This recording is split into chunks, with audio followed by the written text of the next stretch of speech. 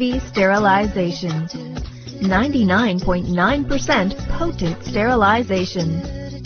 Kill many kinds of persistent germs such as mites, bacteria, molds, and parasites